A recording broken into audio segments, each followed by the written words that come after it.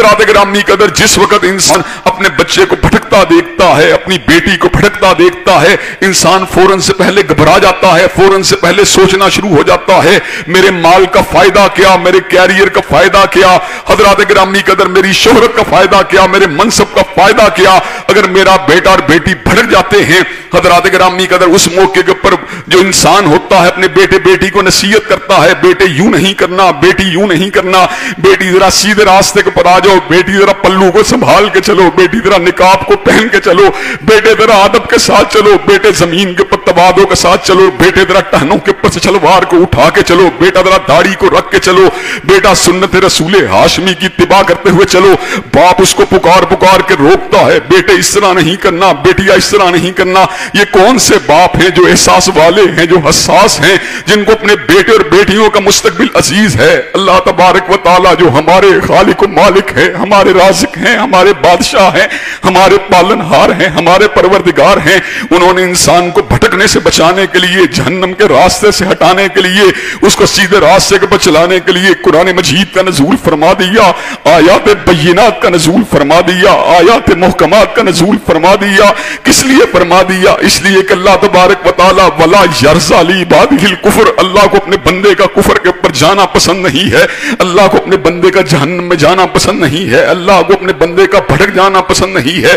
अल्लाह तबारक वाली ने आयात बैनात का नजूल फरमा दिया आयात महकमात का नजूल फरमा दिया, ताकि मेरा बंदा अगर भटकने लगे आयात महकमात उसको रोके आयात बैनात उसको रोके आयात महकमात उसको समझाएँ कि अल्लाह के बंदे तू किधर जा रहा है? अल्लाह के बंदे तू कहाँ भटक रहा है? अल्लाह के बंदे तू कौन से रास्ते पे चल रहा है? लेकिन बंदा है खुदा तो तभी संभलेगा बंदा खुदा तो तभी सीधे रास्ते पे चलेगा। अगर उसके सामने कुरान मजीद की आयात बैनात मौजूद होंगी, अगर उसके सामने कुरान मजीद की आयात महकमात मौजूद होंगी, लेकिन जिसने मुद्दत मदीज से कुरान के सफात को खोला ही नहीं, जिसने मुद्दत मदीज से इसके मुतालिब को समझा ही नहीं, जिसने मुद्दत मदीज से इसके मफाहिम के ऊपर गौर ही नहीं किया, वो संभले तो क्यों कर संभले? वो सीधे रास्ते पर चले तो क्यों कर चले? हजरात ग्रामी कदर अल्लाह तबारक व ताला की सिफात में जुल्म का शायबा नहीं है। और मैंने आपके सामने पहले भी कई मरतबा इस बात को बयान किया। मैंने अल्लाह के बड़े बड़े मुतनवो नाम देखे। मैंने अल्लाह की बड़ी बड़ी आला और अरफा सिफात देखी।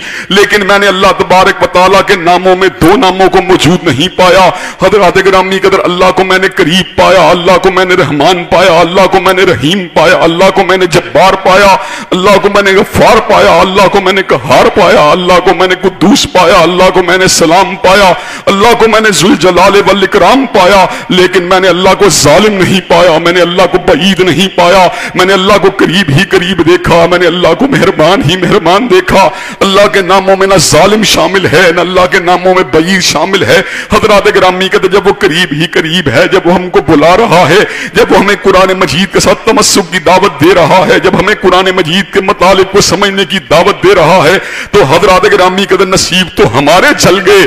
बहुत तो हमारे घट गए किस्मत तो हमारी मिट गई कि हमने अल्लाह तबारक वाली की आयात बैनात से रूगरदानी को इख्तियार किया, अल्लाह के कुरान मजीद के साथ अल्लाह तल्लुकी को इख्तियार किया, अल्लाह के कुरान मजीद के मफाहिम और मतालिब के ऊपर गौर नहीं किया। हजरात ग्रामी कदर आज आलिम यह है, एक मुसलमान हो और उसका ताल्लुक और पाला किसी यहूदी से पड़ जाए, वो यहूदी से बात नहीं कर सकता, किसी ईसाई से पड़ जाए, किसी ईसाई से बात नहीं कर सकता, किसी हिंदू से पड़ जाए, किसी हिंदू से बात नहीं कर सकता, वो ये तो बतला सकता है? बिज़नेस मैनेजमेंट के असूल क्या हैं? वो ये तो बात बतला सकता है। लीडरशिप के नए ट्रेंड्स को सेट कैसे किया जाएगा? वो ये बात तो बता सकता है। स्टेटिस्टिक्स का अरूज क्या है? वो ये बात तो बतला सकता है। बैलेंस ऑफ़ ट्रेड क्या है? वो ये बात तो बतला सकता है। माइक्रोबायोलॉजी क्या है? वो ये बात तो बतला सकता है जेनेटिक इंजीनियरिंग क्या है, वो ये बात तो बतला सकता है, न्यूटन के कवानी कवानीन हरकत क्या है, वो ये बात तो बतला सकता है, आइंस्टाइन की थ्योरी ऑफ़ रिलेटिविटी क्या है, वो ये बात तो बतला सकता है, कौन सी चीज़ का ट्रेड और कौन सी चीज़ का ट्रेंड जो है, इस वक्त बाकी ट्रेंड से ऊपर जा रहा है, लेकिन दुख की बात है, अगर नहीं बतला सकता तो कुरान मजीद के डॉगमास को नहीं बतला सकता, कुरान मजीद के अकायद को नहीं बतला सकता कुरान मजीद में अमले साले के बयान को नहीं बतला सकता। कुरान मजीद की आयात बैनात और कुरान मजीद की आयात मोहकमात को नहीं बयान कर सकता। हजरात ग्रामी कदर, जो जितना बुलंद होता है, उसका भेजा हुआ लेटर भी उतना ही अजीम होता है।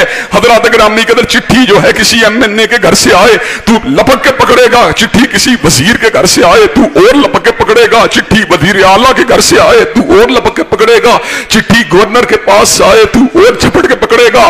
चिट्ठी वज़ीर आज़म हाउस से आए, तू और आगे बढ़ के पकड़ेगा। चिट्ठी आर्मी चीफ के घर से आए, तू और लपक के पकड़ेगा। चिट्ठी चीफ जस्टिस के पास से आए, तू और लपक के पकड़ेगा। अल्लाह ने चिट्ठी को तेरी तरफ़ भेजा, अल्लाह ने अपने पैगाम को तेरी तरफ़ भेजा। अल्लाह ने अपनी किताब मोहकम को तेरी तरफ़ भेजा। अल्लाह ने आयात बैनात को तेरी तरफ़ भेजा। अल्लाह ने कुरान मुबीन को तेरी तरफ़ भेजा। अल्लाह ने किताब मुबीन को तेरी तरफ़ भेजा। लेकिन दुख की बात यह है, तू उस किताब की इज़्ज़त करने के पर तैयार नहीं है। तूने उस किताब को भुला दिया। तूने इस किताब को अपने पीछे फेंक दिया। तूने इस किताब के पैगाम से रूगरतानी को इख्तियार किया। तू क्या करता है? तूने भी कुरान को थामा, तूने जनाजों के मौके के पर साले स्वाब के लिए कुरान को थामा, तूने जब भी थामा, बेटी को अलविदा करते हुए उसको अपने घर से निकालते हुए उसके साय के नीचे से गुजारा, तूने जब भी कुरान को थामा, पंचायतों के अंदर कस्में उठाने के लिए कुरान को थामा, कभी तूने कुरान मजीद के मफाहीम पे गौर किया? क्या तूने कभी कुरान मजीद के मतालिब पे गौर किया? क्या तूने कभी कुरान मजीद की आयात मुहकमात पे गौर किया? क्या तूने कभी कुरान मजीद की आयात बैनात पे गौर किया? हज़रत अम्मी कदर आज अगर उम्मत मुस्लिमा ने कुरान मजीद की आयात महकमात पे गौर किया होता, इसकी आयात बहीनात के ऊपर गौर किया होता, इसके मफाहीम और मतालब पे गौर किया होता तो रब काबा की कसम है, वो जिल्लत और रसवाई के अयाम कि जो इन दिनों के अंदर जिन अयाम से उम्मत गुजर रही है, हज़रत अगर अम्मी कदर हमें ये दिन देखना कभी नसीब ना होते, हमें ये दिन देखना इसलिए नसीब हुए कि हमने कुरान मजीद को बुला दिया तो अल्लाह अकमुल हाकिमीन जो कुरान का नादिल करने वाला है, उसने भी हमें बुलंदियों से उठा के पस्तियों के अंदर गिरा दिया। हजरात ग्रामी कदर आज भी उरूज का एक ही रास्ता है, आज भी सरबुलंदी का एक ही रास्ता है, आज भी तरक्की का एक ही रास्ता है, आज भी इर्तिफा का एक ही रास्ता है, आज भी बुलंदी का एक ही रास्ता है, आज भी जन्नत का एक ही रास्ता है, आज भी उरूज का एक ही रास्ता है, वो तमस्सुक बिल कुरान का रास्ता है, वो कुरान मजीद से वबस्तगी का रास्ता है युमस्सिकून बिल किताब, व अकामुस्सला इन्ना ला मेरे परवरदिगार आलम ने समर का ऐलान फरमा दिया, जो किताबुल्लाह से तमस्सुक का इख्तियार करते हैं, जो नमाजों को कायम करते हैं, मैं उनको कभी जाया नहीं करता, मैं उनको कभी जाया नहीं होने देता। हजरात ग्रामी कदर आप दयानतदारी से बात करें, बाप की हैसियत क्या है? अल्लाह कमुल हाकिमीन तो कुल कायनात का पालनहार है, माँ की हैसियत क्या है? अल्लाह तो सैकड़ों माँ उससे ज़्यादा मोहब्बत करने वाला है। हजरात ग्रामी कदर जो बच्चा बाप का मोहतब हो, वो जो जो बच्चा माँ का एहतराम करने वाला हो, आप मुझे ये बात बतलाएँ, क्या माँ बाप कभी उसको जाया होते हुए देख सकते हैं? हजरात ग्रामी कदर जो बच्चा वालदेन की बातों को सुनने वाला हो, तवज्जो के साथ उसकी तरफ़ कान को लगाने वाला हो, मुझे ये बात बतलाइए, वो वालदेन की नेक तमन्नाओं और दुआओं को किस कदर हासिल कर लेता है?